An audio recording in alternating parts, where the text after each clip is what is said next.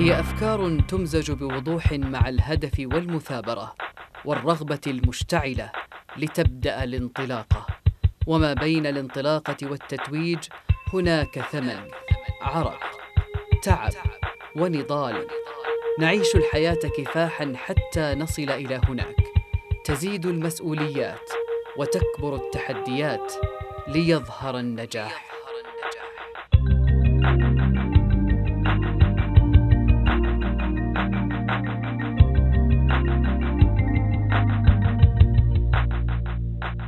ومع العمل واقتناص فرص الإنجاز تعود بك الذكريات. كيف كانت القصة؟ وأين هي البداية؟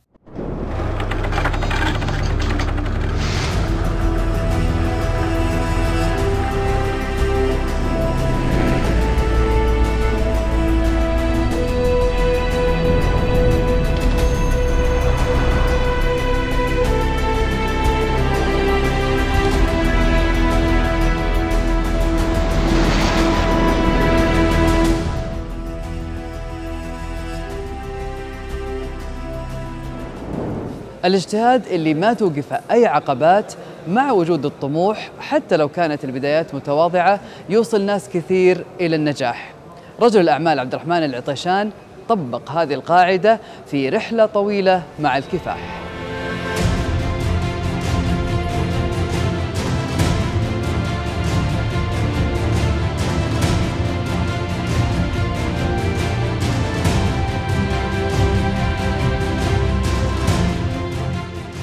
لا تحسب أن المجد تمر أنت آكله لن تبلغ المجد حتى تلعق الصبر. حقيقة اللي يبي الشيء يتعب عليه ويجاهد ويحاول ولا لا ينظر ما في شيء اسمه مستحيل. الفرص موجودة العمل موجود لكن اجتهد.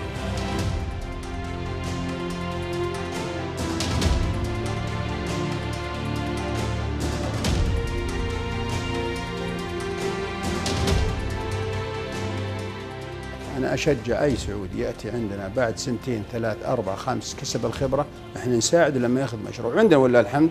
شيء مؤكد. هذا طلعوا من عندنا بالعكس أقول لهم نافسوني. يعني بعض الناس يقول لك أسرار الشركة وما يصير. قلت يا أخي الرزق بس.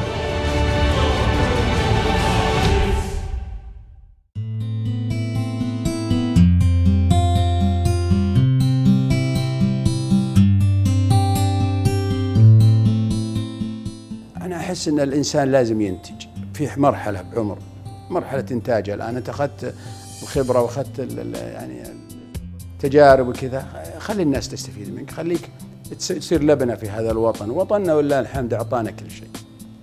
مقصرين والله ما ما نسوي إحنا لكن على الأقل نقول جهد المقل.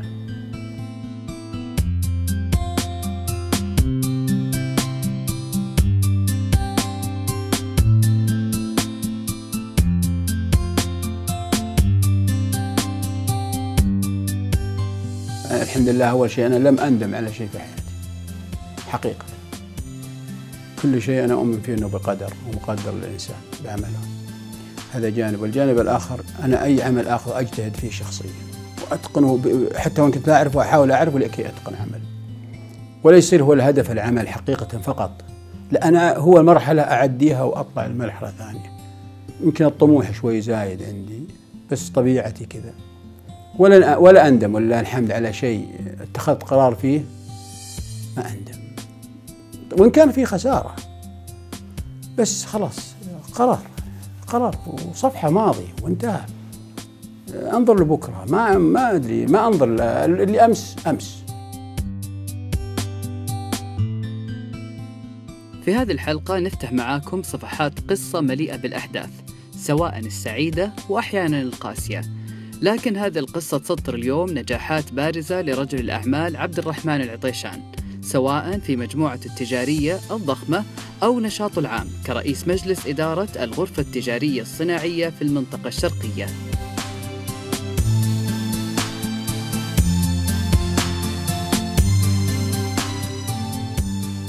السنوات الأولى من حياة ضيفنا قضاها في كنف جده لوالدته في قرية رباعية بالقصيم. وكان هذا نتيجة انفصال والديه في أول سنة من ولادته عام 1959 ابو ضر أنت يعني آه، الوالد والوالدة من أسرتين يعني بارزة. هل كانت طفولتك مرفهة؟ ك- حدثني عنها. كيف كان آه، يعني طريقة حياتك اليومية؟ زي ما تفضلت آه، عائلة البازعي عائلة معروفة وهم أمراء الربيعية عموما. من جد جدنا اللي هو عبد الله جدي الأمي عبد الله الحمود البازعي فالوالد برضه أمير يعني كان في إمارة راس النورة وكان في آه، إمارة المنطقة المحايدة ما في شك يعني. لكن أنا ما حسيت بهذا. يعني أو ما أخذت آه، منه أي شيء. آه، عشت آه، يعني مع أخوالي كفلاح حقيقة. لأنهم هم أهل فلاح أهل نخل وأهل غنم وأهل إبل وأهل يعني فما ما ما كنت أعرف إنه إنه في عيشة أفضل من عيشتنا. أتوقع كذا كنت. يعني عيشة حياه طيبة. بسيطة كانت يعني. جدا بسيطة و- بس كانت جيده جدا. جيدة. أعتبر نفسها أعتبر أنا محظوظ إني عشت في ذاك الأيام. أعرف إنك كنت تساعد يعني كنت تساعد جدك أو جدك كان يكلفكم وأنتم أطفال بأعمال. صحيح. وبعضها تعلمت منها يعني بعض القيم. حدثني عن هذا الشيء. جدي أصلا له فلسفة كان الله يرحمه.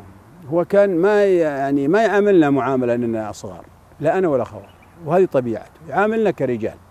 يوكل لنا مهمات أصلا يمكن ما نقوم فيها أحيانا ربما صعبة لكنه يعني يعطيك الخيار زي ما يقولوا تشالنج أو تحدي.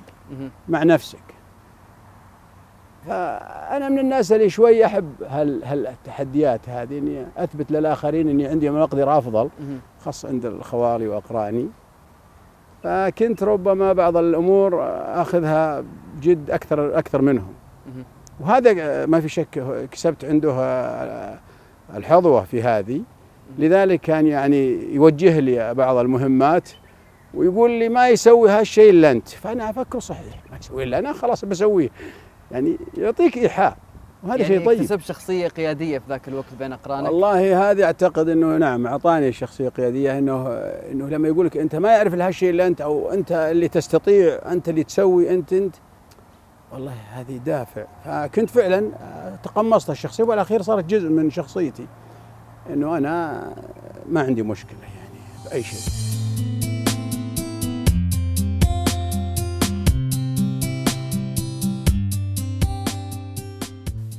بعد ما بدأت مرحلة الدراسة تجاوزت المرحله الابتدائيه ثم المتوسطة وبعدها قررت إنك آه، تقف آه، عن الدراسة.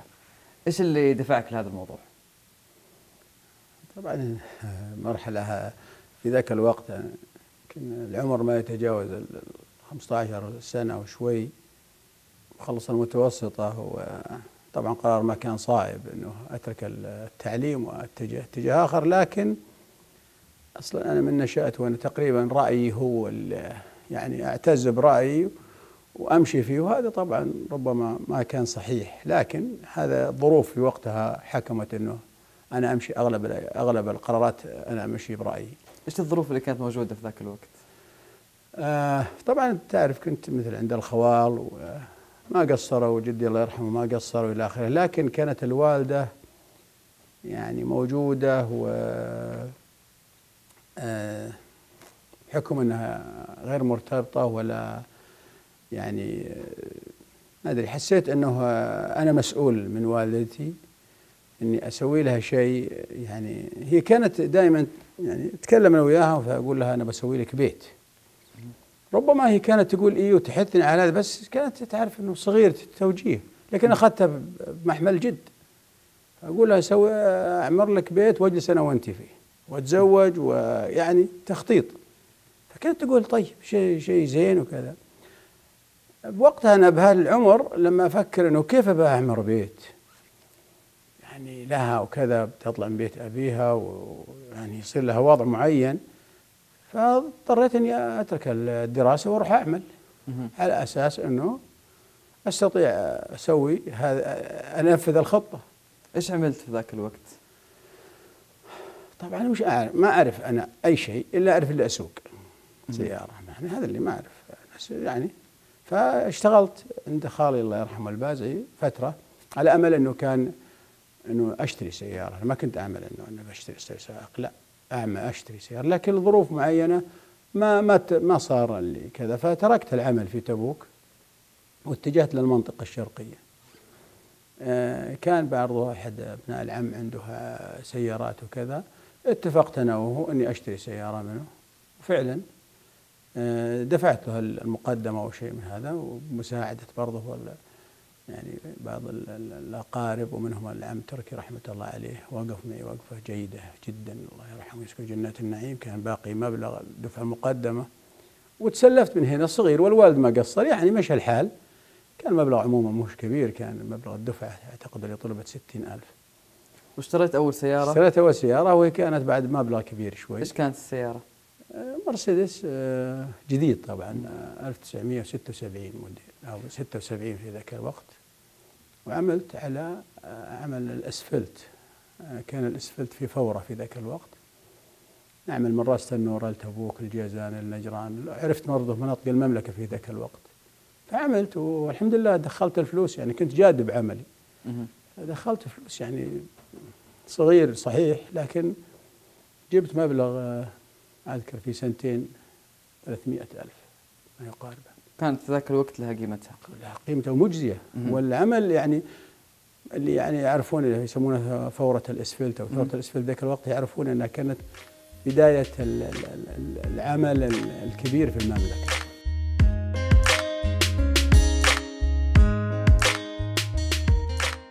كان أحد أبرز حوافز الشاب عبد الرحمن في ذاك الوقت توفير منزل مستقل لوالدته لمكانتها الكبيرة. لكن لما رجع يبشرها بشراء أول شاحنة تفاجأ بأحداث جديدة. طبعا بس خليني أسترجع الكلام اللي قلت. أنت كنت تتمنى تبني بيت للوالد. يعني كان هذا هو الهدف بس آه، صار ظروف يعني. عموما كنت جاي ومعي سيارتي وكذا وإلى آخره فالوالدة الوالدة يعني صغيرة وكذا يعني عرفت إنها آه، تزوجت. فحقيقة كانت يعني مش صدمه لكن إنه الهدف اللي كنت أنا أسس له يعني يبدو إنه آه، تغير التوجه والاتجاه. آه، طبعا يعني يمكن شاب صغير يحس بشيء من طبعا بعدين أنا أعرف إنه أنا غلطان بالعكس زواج شيء مبارك والحمد لله تزوجت جابت لي أخو يعني أنا سعيد فيه وهو سند لي وسند سند له وسند لوالدتنا لكن بوقتها كان كنت تفكير شباب وصغير يعني أحس أنه في شيء وأخذ منه. وهذا كان تفكير خطأ طبعا. لكن الحمد لله مع ذلك عمرت لها بيت طبعا أكيد.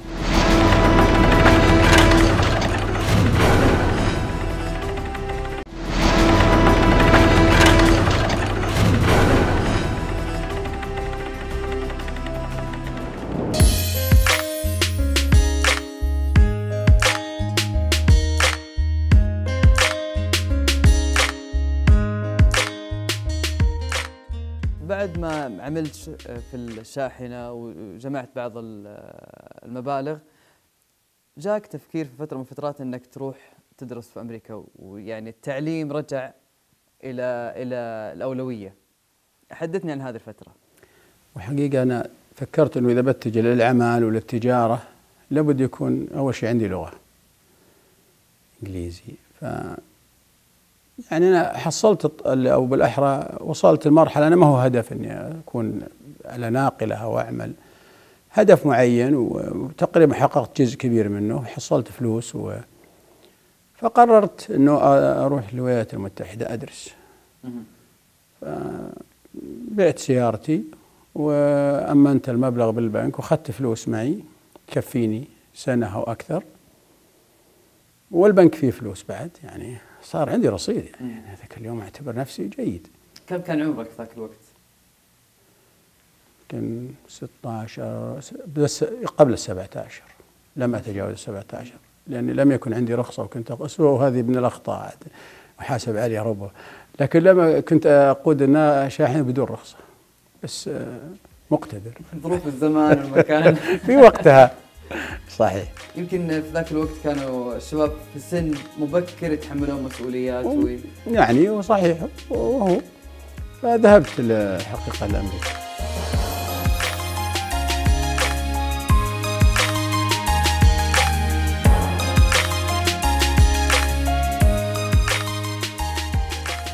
إذا استمرت في أمريكا قرابة السنتين. تعلمت اللغة. صحيح. وبعدها قررت العودة. نعم. إلى المملكة لوجود الوالدة وإكمال صحيح. مشوارك في العمل صحيح آم، بعد ما رجعت كيف كانت الرؤية؟ رجعت عام نهاية التسعة وسبعين ثمانين كانت بداية الحرب العراقية الإيرانية تو بعد 79 أعتقد نهاية ال 79 بدأت والثمانين كانت مستمرة كانت المملكة العربية السعودية الرافد الأساسي في مع الحكومة العراقية في ذاك الوقت بحكم الموانئ موانئ المملكة وخصوصا موانئ المنطقة الشرقية. فكان ال- ال- ال- العراق يستورد من آه، عن طريق المملكة كل بضائعه. عن طريق المملكة وعن طريق تركيا ولكن المملكة هي الأساس. سمعت طبعا إنه هناك عمل وإلى آخره فتوجهت للمينا رحت أنا بنفسي. سألت لقيت إنه يطلعون طبعا ما كان هناك تقريبا سعوديين كل اللي هم أجانب اللي هم أردنيين أو عراقيين الشاحنات اللي تأتي. آه يعني اخذت شاحنة. لأنه مغري ال- ال- ال- ال- الحمولة الواحدة من المينا الدمامي إلى بغداد.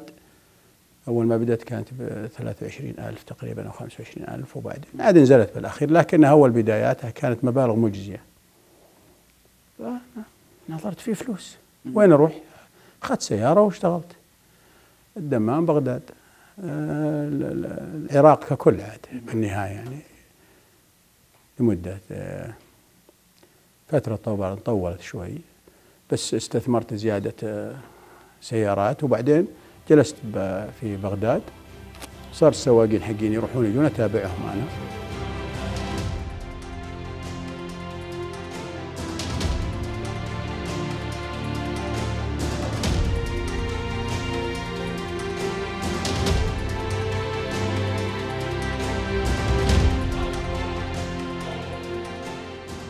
من الطبيعي إن أي ناجح يواجه تعثر في مسيرته، لكن الأهم إن هذا التعثر ما يكون نهاية المشوار، بل بداية لقصة جديدة، وهذا بالضبط اللي حدث مع ضيفنا. شخصيتك ما شاء الله فيها مبادرة و... وحسن انتهاز ل أو استثمار الفرص خلينا نقول. يبدو إنه هذيك الفترة كان فيها تحقيق نجاحات من اللي قاعد توصف، ولكن أنا أعرف إنه بعدها أنت رجعت وعملت آه، موظف. ليش؟ هل كان يعني في فشل معين؟ احكي لي التجربة هذه. لا بس آه، إنه آه، يعني الواحد صار عنده عمل وكذا لكن الظروف هي تغيرت آه، كثير أحيانا. نزول ال- ال- العمل برضه كان له دور. وصار في ظروف برضه هي طبعا السيارات وكذا كانت طبعا برضه ديون يعني ما هي تعرف الواحد يعني بداياته. فالظروف ما كانت على الوجه المطلوب. فكان أهم شيء عندي أنا إنه الناس تأخذ حقوقها يعني فأنهيت الأمور كلها بكل بساطة وهذه الحمد لله عندي أنا ما ما ما, ما عندي مشكلة. أنهيت كل شيء وخلاص انتهى الأمور ورحت رجعت أشتغل اشتغلت موظف.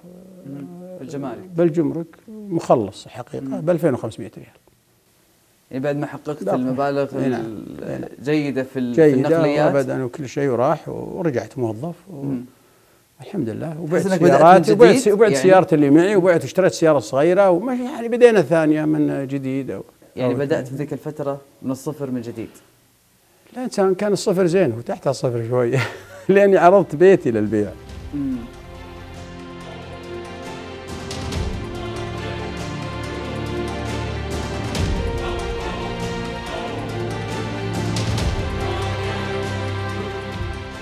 إذا في هذه الفترة كان في نقطة تحول. إيش الدرس اللي تحس إنك تعلمته من هذه التجربة اللي كان فيها خسارة كبيرة؟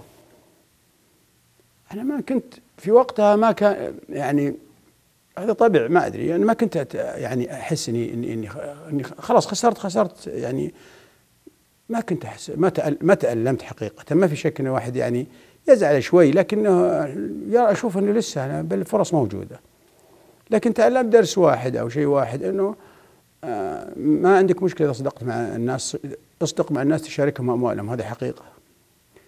النقطة الأخرى تعلمت شيء ثاني إنه اللي ما يكسر الظهر يقويه، يعني إنه إذا ما انكسر ظهرك وطحت زي ما يقولوا انتهيت فأنت أبدا تقوم أقوى مما كنت، وتصير هذه هي دائما أنا أقول الخسارة والمشاكل ال ايا كان النكبات أو المصائب اللي تجي للإنسان إذا ما يحسن استثمارها فهو هذا مشكلته هو وليست مشكلة غيره لأن هي خلينا نقول العتبات اللي تقفز بك إلى الأعلى لأنك خلاص عرفت وش معنى الخسارة، عرفت وش معنى إنك تفرط بحقوق الآخرين، عرفت شلون إنك ما الآخرين ما تنظر لهم، عرفت وش قيمة الوقت. الوقت مهم، عرفت كيف تحترم الآخرين. هم لما يعطونك أموالهم مش ليست رخيصة أموالهم عندهم، ولكن أعطوك إياها يبغون فائدة، هذا شيء بديهي. اذا افهم الدرس. إنك تعطيه إياه قبل ما يطلبه حقه. هنا يثق فيك، لكن إنك تستهتر بأموال الناس حقيقة هذه هي أكثر نكبات الناس. استهتاره بأموال الآخرين. أخذه وما يرجع. وهذه كارثة. وابن آدم بني على الطمع فألجم نفسك قبل ما يلجمونك الرجال. يعني الحقيقة النفس دائما ما في شك طموحة وتبغى بس ما ما هي ما هو حقيقة أنه أعطي الناس حقوقها قبل أن يطلبوها منك. ما دامك أخذت منهم وجأت وأخذت سواء من بنك أو من شركة أو أو أخذت معدات أعطهم حقهم قبل ما يقول لك أعطني إياه لأنهم هم أصحاب الفضل عليك. هم اللي أعطوك. ما لك فضل أنت يعني أنت تجي أنت تقول له شكرا أنك أعطيتني. فهذه من الأمور الدروس اللي يعني أخذتها وما زلت والحمد لله أعلمها لأبنائي في هالموضوع حقيقة. وموظفين. وأزعل. ما أحب أفتخر فيه لكن والله أني أزعل إذا أحد ما أخذ حقه. هذا أعتبره هذا غلط ولا يجب أن يكون. الرسول صلى الله عليه وسلم يقول أعطي الأجر أجره قبل أن يجف عرضه هذا إذا كان الإنسان يتشبث بالإسلام أما كإنسان إنسان أعطى الناس حقه.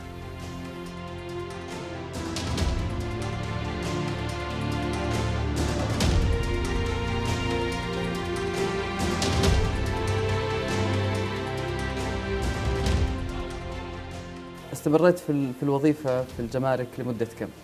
يمكن ست شهور ورحت طلعت رخصة. رخصة تخليص أنا بنفسي يعني عرفت الشغلة. طلعت. طورت حتى في الوظيفة حاولت أنك تطور وضعك. لازم تطور نفسك. اشتغلت وبعدين طورت نفسي وبعدين طلعت رخصة تخليص وبدأت يعني أنا بنفسي أمسك أعمال أخرى بطريقتي شركات صغيرة وكبيرة وإلى آخره. وهذا بدأنا ثاني مرة.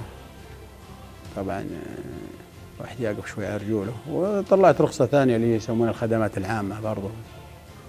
تطلع جواز. يعني تخدم. يا الخدمة الخدمات هذه ما تبي رأس مال. تبي واحد بس يجتهد يقوم من صلاة الفجر وما يرجع ينام إلا الساعة خمسة المساء.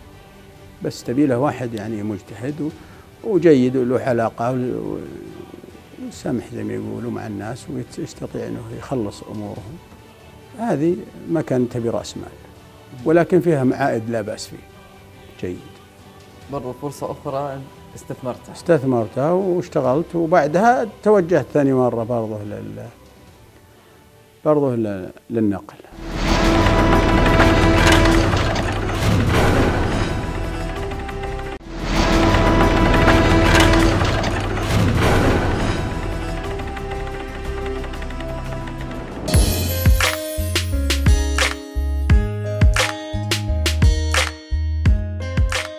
ضاري أنت من رجال الأعمال المغامرين ويمكن المغامرة أيضا جزء من شخصية رجل الأعمال يعني يستثمر الفرصة لما يشوفها سانحه أمامه.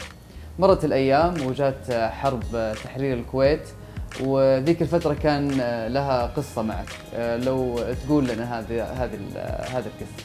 طبعا كان هو بالبداية غزو العراق للكويت وأتت بعده عاصفة تحرير الكويت الكلام ذا 91 عام 1991 آه طبعا ما في شك كان مفاجأة لنا جميعا. استضافت المملكة العربية السعودية شعب الكويت بكامله والحمد لله. هذا شيء نعتبره شرف لنا وواجب. ما في شك آه، كان هناك فرص. لما أتوا أخوان الكويتيين آه، علينا طبعا فجأة بيوم ليلة اضطرت الدولة أن تسكنهم في محلات مختلفة في المدارس بالإسكان إلى آخره. عند أهلهم اللي يعرفون أحد إلى آخره واستضافون بعض العوائل. هذا شيء طيب واللحمة. آه أنا من الناس اللي يعني رأيت أنها مساهمة أنك تساعد برضه جزء من من من ساعدنا في بعض الأمور إما بنقل الماء لأنه كان شهر أوغست الحر يعني بسبب نقل الماء بنقل بعض البضائع بدون مقابل وقتها ما كنت تحسب إنك تحسب تبي تأخذ فلوس أو شيء لا. يعني كان واحد الواحد لازم يبغى يعني يقدم شيء بالضبط. وشيء وطني. ويشوف أهله الكويت أخواننا وأهلنا. الحقيقة ما أحد كان ينظر من التجار هذا صحيح تشهد لهم إنها بالعكس التجار كثير فتحوا فتحوا مستودعاتهم. ولكن دولتنا دائما كريمة. الدولة برضو دفعت بسخاء. فأنا برضو لما كان هناك فرص يطلبونك مقاولين إلى آخره يعني شغلة ما هي شغلتي اللي هي التغذية. مهم. أخذت تموين أو تغذية جزء عدد مثلا نقول 1000 3000 4000 شخص آه، أجيب لهم الطعام غدا عشاء فطور. واتعامل مع المطاعم والى آخره ونوصل. وكانت يعني ما كنا ننظر حقيقة للمبلغ ولكن كنا نظرناها ك كواجب وطني. مع انه يعني هذا ال هذا هذا العمل ما كان في السابق من ضمن اعمالك لا ما هو بضمن لكنك أعمالنا يعني ولا- لقيت ولا- نفسك ممكن بس تأديه آه، نعم تأديه الو- الوضع وال يحتاج بهالشكل آه. ذا أيضا نقل الماء نقل ال- ال- المشروبات إلى آخره. فكانت هذا جزء من من من من, من منا كمواطنين أو كتجار أو كرجال أعمال مع إخواننا في الكويت. بعدها طبعا آه، الوضع آه، دخول القوات وإلى آخره. حتم على علينا إحنا كمقاولين خصوصا النقل وأنا من الناس اللي مستثمر بالنقل إننا نعمل ب ب ب بشكل 24 ساعة اولا نعمل بقوة واجتهاد لأن اللي أتى لل- للمنطقة الشرقية لا أحد يتصور في ذاك الوقت من القوات اللي نزلت. فما في شك سخرنا جميع معداتنا للعمل. و والحمد لله شهادة نعتز فيها أنا وزملائي المقاولين الناقلين خصوصا إننا قمنا بعمل جبار لأن اللوجستيك هال- هالدنيا هذه اللي تمشي تبي. نقل تبي معداتها تنقل تبي ما ينقل تبي أكل أسلحة إلى آخره. كان نيمت في حاجة كبيرة. من الموانئ. وهالسيارات الله شيء نفتخر فيه كناقلين. فالحمد لله كان حتى ال- الأوروبيين أو الأمريكان أو اللي أتوا كانوا جايبين سيارات ما استعملوها. وجدوا شيء ما كانوا يتصورونه من الناقلين وصلابتهم حقيقة. أيضا بالنسبة لي أنا وبعض أنا كان عندي أعمال بالجبيل العماله جتها تعرف من السفارات إنه المنطقة خطرة أخرجوا. طبعا كنا نعمل مع مع وهذه الحمد لله حسب برضو حسبتها لنا شركات سابقة يعني شافت إنه المخلصين ال- ال- الحزم ما يبقى إلا ابن البلد حقيقة. فأنا وجزء كبير من المقاولين أنا كنت اداوم في الجبيل مع العمال. عامل والموظف لما يشوفه كان صاحب العمل واقف أمامه يطمن. أضف أننا دبلنا الفلوس الفلوس. دبلنا لهم الرواتب دب الأكل والشرب ببلاش. أيضا الشركات ما قصرت معنا يعني لما شافوا الوضع لأن لا يمكن توقف هالمصانع. مصانع تكلف وقوفها فكانت أزمة. لكن أديرت باحترافية من الجميع. والله سهل لنا هالأمور ما في شك الحكومة لها دور فاعل والشركات لها دور فاعل والمقاول والمواطن فكنت أنا متواجد بالجبيل حتى لما كانت آه، صواريخ سكود معروفة تطلع هنا وهنا. والله يعني عند شعب المملكة جبار والله ما كان لا خوف ولا جو الخوف. وأنا شفته بعيني ما أقول. بالعكس الصاروخ لما يطلع كانوا يشوفون وين طاح. يروحون يشوفون فين فهذا يعني دليل حقيقة أنهم ناس فعلا ولله الحمد آه، أقوياء وب- بايمانهم بالله وبحكوماتهم. طبعا عملنا هالفترة هذه مع القوات ومع ال- واستفدنا ماليا؟ اللي يقول ما استفدت؟ لا استفدت بالنهاية طبعا. مم. و... استفدت وقدمت أيضا خدمة لل- وقدمت خدمة واستفدت. نعم واستفدت.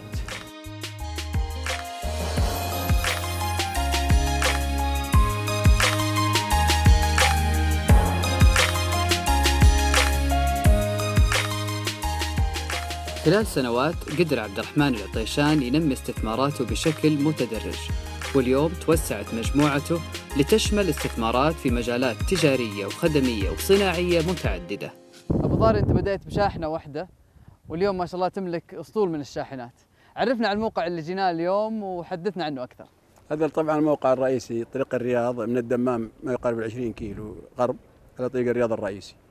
طبعا هذا بهالمحل أنا لي الآن 12 سنة.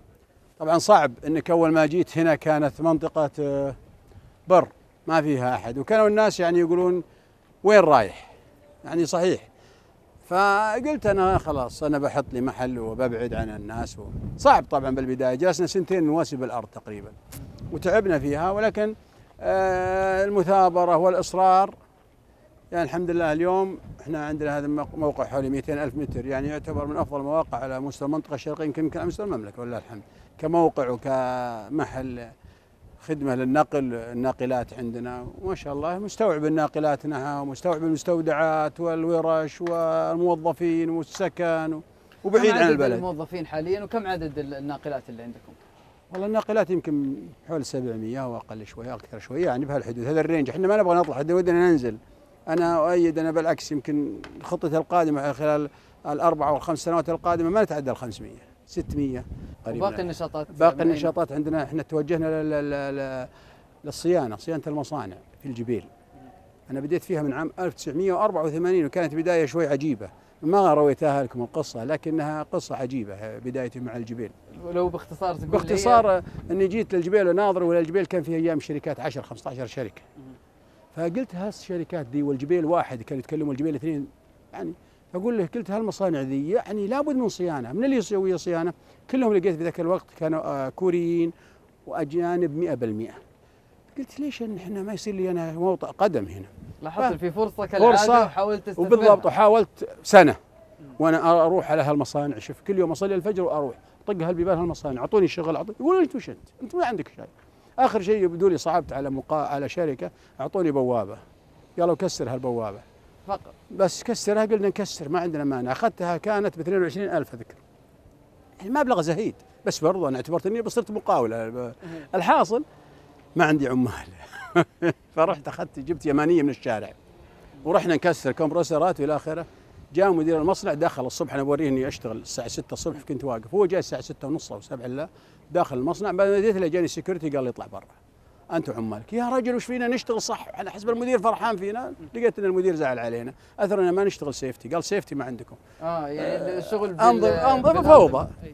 فرحنا جبنا أنظمة ال safety وعلى بال ما جبنا وإلى آخره. المهم اني نفذت المشروع بخسارة 10 لا 7000 ريال.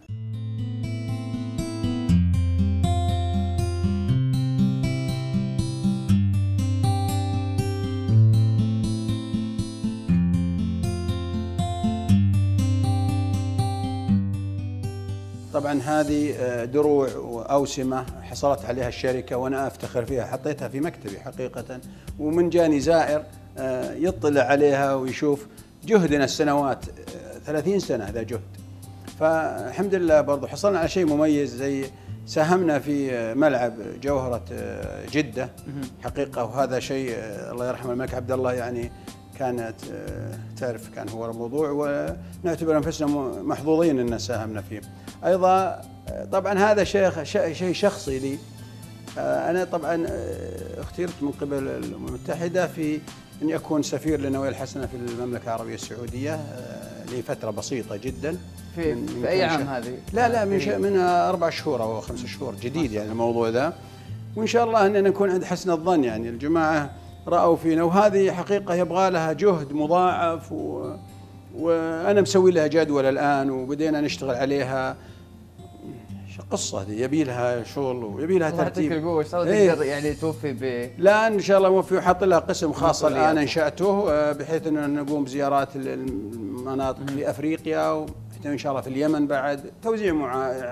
مساعدات وإعانات وإلى آخره. يعني تعرف آه، مسؤولية يبني كمان شايف ساعة الحرم؟ هذه هذه من أعز الحاجات اللي احتفظ فيها لأنه يعني وفقنا إننا نكون مساهمين له جزء بسيط في عمارة الحرمين الشريفين في مكة. هذه ساعة مكة. أخذناها حقيقة كإثبات إنه ساهمنا في عمارة الحرم وان شاء الله يكتب لنا فيها الخير والبركة. حقيقة هذه يعني من أعز الحاجات اللي نحتفظ فيها واعتبر نفسي محظوظ أننا ساهمنا في هذا العمل الخير للمسلمين والإسلام. الحمد لله والشكر. نعتبر نفسي إن شاء الله محظوظين يعني.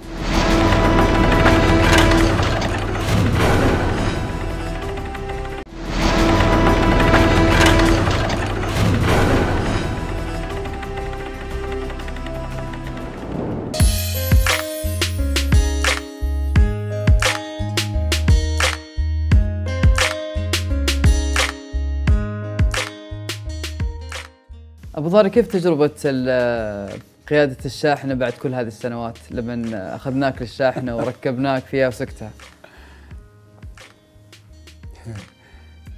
يعني رجعت لي سنين طويلة جدا. يعني ما نبقى إلى السنة والسنة. لكن رجعتني الزمن كان كنت فيها يعني ما بداية كفاح. ما أعرف وش بكرة بس كان عندي إصرار توفيق من رب العباد إنه أنا عندي هدف. هذا كان يعني كان هدف عندي وليست هي كانت مرحلة زي ما قلت لك هي مراحل بهالحياة فكانت ليست المرحلة أنه أنا أعمل في على الشاحنة فقط لا هي آه، مرحلة عمل لما بعده. لكن لما طلعت على الشاحنة و يعني ما في شك مر شريط سريع الإنسان. يعني يعني تخيل عجيب ما في شك. سنين طويلة. بس كانت جميلة ترى على فكرة. يعني أشكركم أنا لأني بعدها طلعت ثاني مرة. سكتة مرة ثانية. سكتة لحالي وقعدت أتمشى بدون ضغوط.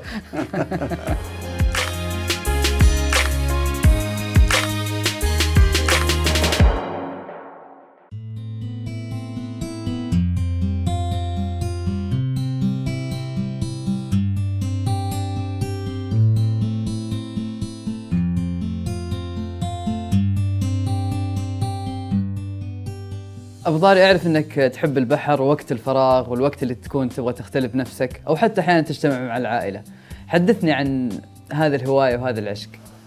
والله طبعا أنا قلت البحر أحب البحر ما في كلام لكن أنا والعائلة والأولاد والأحفاد الآن صار عندنا آه الله يخليهم ف آه ما في شك إنها تعرف رجال الأعمال بحكم عملهم وإلى آخره.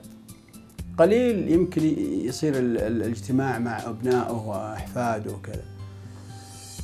آه، فأنا يعني إذا طلعت للبحر وجو الأولاد معي حقيقة أحس براحة نفسية. هذا أولا. ثانيا أحس أنه أنا في نعمة. حقيقة أنك تشوف أبنائك معك وتلعب معهم وربما تأخذ منهم أيضا يكون هناك ألفة بين الأبناء وبينك وبينهم برضه يعني هذه مهمة. تكسر حاجز أحيانا الرسميات وهذه جدا مهمة. ربما تطلع على مواهب الأبناء. عندهم مواهب الأبناء أحيانا ما يبدونها للآباء. لكن في هالمواقع أو هالمواقف تنكسر جميع الحواجز. وأنا بطبيعتي أتعامل مع الأبناء لست أب. أبدا. أتعامل معهم صديق حقيقة. أعطيهم راحتهم أعطيهم جوهم يعني.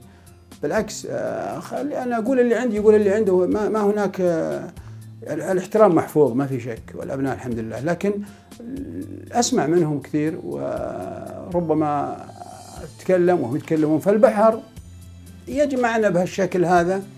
ننزل للبحر نسبح. آه، أيضا أحب إني أنا أعرف إن ودي إن ابناء أو أحب إن أبنائي يكونون سباحين مهره ما يعني الواحد يحب السباحة ورياضة الرياضة أوجههم للرياضة طبعا. وكلهم الحمد لله رياضيين جيدين. وأنا علمتهم كل أنواع الرياضة اللي يعرفها عاد آه، طبعا فيه ننزل بالقارب أحيانا نتزلج نركب الجيت. ربما يصير بعض الألعاب بيني وبينهم. يعني يمكن نتسابق. هم شوي يحاولون يسبقوني بس يبدو أنهم يخلوني يسبقهم يتساهلون لي. ومع ذلك أنا ما أعطيهم فرصة. هاي إذا سبقت سبقت. طبعا كل هذا يخلق ألفة هذا جانب. وبنفس الوقت أنا أشعر بالسعادة حقيقة لأن الأبناء في مراحل مختلفة. يمرون يعني الأبناء الصغار لما كانوا صغار أذكرهم اليوم تغير الوضع كذا صاروا الان اختلفت المقامات بيني وبينهم لكن ظلت الحمد لله جانا احفاد وانبسطنا صرت أنبسط معهم. بطريقة زي ما كنت معاهم ألعب بالسابق. فهذه نعمة من رب العباد. أنا أعتبرها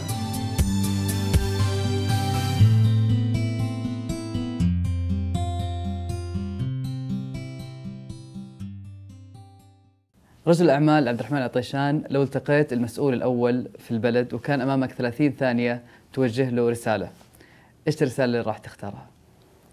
أقول الملك سلمان حقيقة أتى في وقته ولله الحمد. هذا واحد. وهذا من فضل الله على المملكة العربية السعودية وعلى الإسلام والمسلمين. آه، ملك الحزم والعزم فعلا رجل حازم وعازم. آه، المملكة يعني سبحان الله مؤهل كل ملوكنا يعني يأتون في مراحل جيدة ولكن الملك سلمان في هذه المرحلة أنا أقول له شكرا. أقول لسلمان شكرا حقيقة وهو يحب أن ينادى سلمان. سلمان أعدت للعرب والمسلمين هيبتهم حقيقة. أنا نعم رجل أعمال ولكن قبل هذا وبعد أنا مواطن من هالبلد وأدين حبا وولاء لديني ومليكي وبلدي أرضي هذه وأعيش عليها وأموت عليها وأموت دونها. يعني الواحد يفتخر ولله الحمد والله يديم العز والأمن والأمان على هذه البلاد ولله الحمد. والله إننا مغبوطين فيها. مغبوطين ولكن ولله الحمد العيون ساهرة ونحن ننام في أمن وأمان. هذا حقيقة. الأمن اللي نعيشه إحنا كتجار اتكلم التجارة رأس المال دائما يبغى عن الأمن. لا يعيش رأس المال لا يهمك تجار عنده مليار والله لا تساوي شيء. لو لو ما يت... تأمن تجارته لا يسوى شيء. لو عنده مليارات بنوك غيره تهتز في ساعات إذا اختل الأمن. لذلك أنا أشكر الملك سلمان أشكر محمد بن سلمان وأشكر محمد بن نايف ومحمد بن سلمان. حقيقة وأشكر الباقين ما في شك الامل اللي نعيشه. لكن هذا أنا سعيد جدا بوضعنا. الحمد لله والشكر لله. الله يديم هذه النعمه علينا ولا يغيرها. آمين. الله يديم نعمة الأمن على بلادنا ويحفظ لنا ملكنا. السؤال الثاني اللي بطرحه عليك لو عرضت عليك حقيبة وزارية إيش الوزارة اللي راح تختارها وأول قرار راح تتخذه؟ والله شوف أنا لا أطمح أن يكون وزير لأنه العمل الوزراء يقول الله يكون بعونه. هي أمانة أولا و... أولا وأخيرا هي أمانة. قلدها ولي الأمر لك يا هالوزير. فراعي الله قبل كل شيء. وراعي الأمر الوضع. الوزراء يعني على على الكرسي هو مؤتمن. والله يعني إنه أني ما أغبطهم على وزاراتهم والله. لأنه الحساب يسير وليس يسير. فياما يعني الإنسان بيته خايف وماله الخاص وخايف ما بالك إنك تولى أمة تكون تحت ادارتك لكن من باب من باب ال ال ال الإصلاح أو الرأي الخبرة البسيطة اللي عندي أنا ربما أقول النقل. لأن خبرتي في هالمجال. والمملكة تستحق أكثر من هذا. يعني أنا النقل ما هو نقل ما قصروا الوزراء لكن المملكة تستحق أكثر من هذا بكثير. الطرق ما زلنا لم ما زلنا يعني نشوف الضغط على هالطرق والقطارات ليست على لسه إحنا بادين فيها و إحنا نستحق أكثر المملكة تستحق أكثر من كذا. فيعني يمكن اكون أقول وزارة النقل لكي أعمل شيء لهالبلد لا أكثر ولا أقل. بس. وأول قرار راح تتخذه لو مسكت وزارة النقل؟ انشاء طرق. حديدية. سكك. حديدية هذا اولا. ثانيا آه، إنشاء طرق آه، موازيه للطرق الموجودة. الاكثر الطرق عندنا من عام 84 إلى إلى 90 يعني طرقنا كلها العمرة مش الافتراضي. البلد زاد أربع خمس أضعاف. وما زلنا طرقنا. أنت لما تطلع المناطق مثل الرياض الدمام أو أو شوف شوف شو الأمور. هذا جانب. ويبقى عندك طال عمرك اللي هو النقل العام. معقول مثل المملكة العربية السعودية لا يوجد فيها نقل عام يعني على مستوى بلد مثل المملكة. تستحق. الرياض فيها ستة ملايين. جدة فيها كم؟ مكة كم؟ ما يصير. يعني تحت ألف خط هذه. لازم تقول لي ثقافة ما ثقافة هذا باب وجواب. إنه ما يركب السيارة ما يركب الباص. هذه فيها أمور ثانية.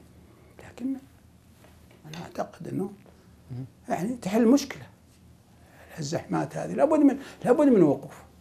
وأنا أشوف فيه فيه يعني فيه الوزراء الآن اختلف الأمر الآن. بدأوا ينزلون للواقع أول كانوا فوق. الحين بدأوا ينزلون لل- للواقع حقيقة وأنا أشكر من هو خلف هذا. بعد ال- الفترة اللي قضيتها الطويلة والقصة اللي سمعناها منك وتجربتك في مجال الأعمال وتجربتك في مجالات مختلفة إيش هو النجاح الحقيقي في وجهة نظرك؟ والله من أصعب الأسئلة هذا لكن بجاوبه ربما إجابة مختصرة قدر ما أستطيع. يمكن كل أسئلة أكتب جنبه هذا جنب آخر. لكن أنا أس... آه، النجاح الحقيقي أنا أتصور أنه أخرج من هذه الدنيا وأنا يعني الناس راضين عني. وأنا أكون أرضيت ربي قدر ما أستطيع. آه، ما في شك أن الإنسان آه، بمغفرة وبرحمة رب العباد. هذا جانب. ال- ال- الجانب ال- الآخر أن أن أنا أتمنى أن يعمل الخير قدر ما أستطيع. لأنه هذا يعطيني السعادة أنا عمل الخير. أنا أنا أسعد الحقيقة لما أعمل للناس شيء أستطيعه. فأتمنى أني أوفق في هالمجال وأستطيع أني أسعد من حولي إذا أمكنني وإن شاء الله أنه أستطيع. آه، تكون الإنسان حياته الباقية حياة سعيدة. آه، تكون حياة حياتنا في في هذا البلد المعطاء جميلة. ما نبغى زي ما يقولوا يكون علينا آه، أي آه، تنغيص في هذه الحياة. فلكن إن شاء الله وهذا وأتمنى المغفرة من رب العباد ورضاء الوالدين. وهذا حقيقة رجل بسيط هذه منيتي ونتمنى منية ما هي بسيطة هذه بس إن شاء الله تتحقق. رجل الأعمال عبد الرحمن العطيشان قضينا وق- وقت ممتع أخذنا من وقتك كثير وت- وتعبناك في رحلة طويلة.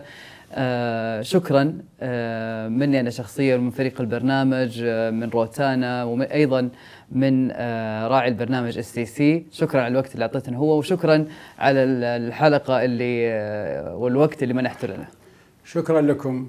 والله يوفقكم وأسعدتوني حقيقة. وأنت يا أخ صالح أنا أحيي فيك آه، يعني روحك مش الرياضية ال- ال- الجميلة اللي تستطيع أنك تأخذ من مني أنا أخذت شيء يمكن كان ما ما ما بدي ما ودي ما حبيت أقوله في- فترة من فترات. ولكن أنت بطريقتك يعني سحبت ال- ال- ال- ال- المعلومات وكذا بطريقة احترافية وهذا يدل حقيقة على صدقك اولا. وأنا احيي لأنه صادق أنت في طرحك. وأنا إن شاء الله صادق معك في فيما قلت. آه، ربما أنا أتمنى إذا كان هناك شيء آه، يزعل المشاهد. أتمنى أنه يعني يعديها زي ما يقولوا لا يأخذها على مأخذ. آه، أيضا أنا أشكر قناتكم حقيقة. قناة جدا رائعة روتانا وما شاء الله موفقين أنتم. برنامجك برنامج رائع. صار له اليوم يعني آه، ما شاء الله آه، آه، مشاهد على مستوى الخليج. وإن كان لي رأي صغير أتمنى أنه أنت غطيت المملكة نوعا ما. أتمنى أنك برضو تأخذ من الخليج. يعني لأنه فعلا أنت اليوم وصلت الأكثر أكثر من المملكة العربية السعودية. فالخليج له حق فيكم. فأتمنى أنه يكون لهم دور في برنامجك الرائع. الله يوفقكم أنتم زملائك. إحنا اللي تعبناككم حقيقة. لكن تحملونا شوي وما قصرتوا تحملتونا كثير. شكرا. جزيلا. بالعكس شكرا. إنك فتحت لنا قلبك و... وإن شاء الله في هذا الموسم راح تشوف رجال أعمال من الخليج مشيئة الله. وشاكرين لك كل الوقت اللي أعطيتنا. الله يرضى عليك. شكرا. لك شكرا جزيلا. يعطيك. العافية. أهلا وسهلا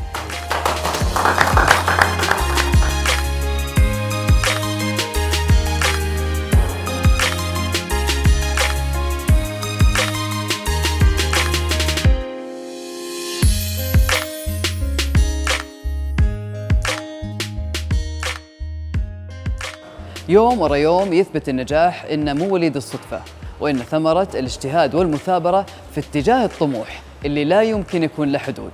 وتذكروا دائما إن سمات الناجحين ما صارت أسرار مع صناع النجاح. إلى اللقاء.